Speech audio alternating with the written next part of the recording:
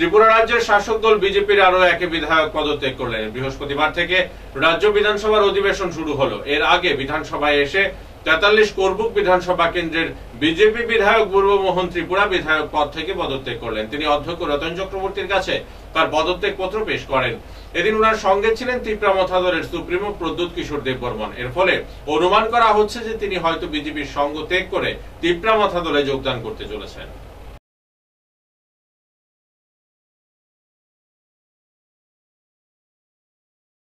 इसलिए आया आज बुर्बु मोहन त्रिपुरा ने बीजेपी एमएलए पद से रिजाइन कर लिया है और पार्टी से भी रिजाइन कर लिया है।